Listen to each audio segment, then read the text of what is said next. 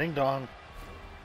James, I think the, the quickness of the delivery of the puck is more important. What you gonna do? the when you're in this tight. I warned you about this guy. I tried telling you. Boston's cut that lead. Anything from like the crease to like five to six feet out, he is a lethal problem. With just half of this first period left, there's lots of time No. to trail by one. Slides it across to Ramsey. Off the left wing and into center.